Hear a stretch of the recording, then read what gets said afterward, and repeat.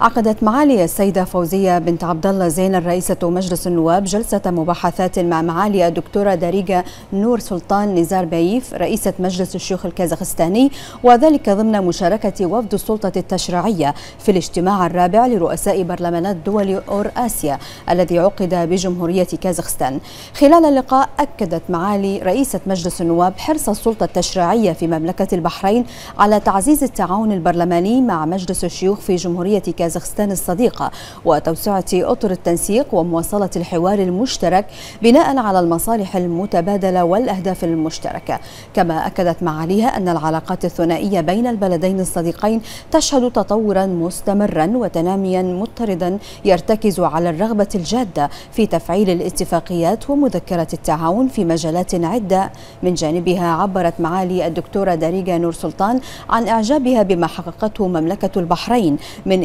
إنجازات في مسيرتها الديمقراطية وتقدمها الحضاري اللافت ومبادراتها الإنسانية الرائدة وما نتج من إرساء لدولة المؤسسات والقانون وتعزيز الشفافية والحريات العامة في ظل العهد الزاهر لجلالة الملك المفدى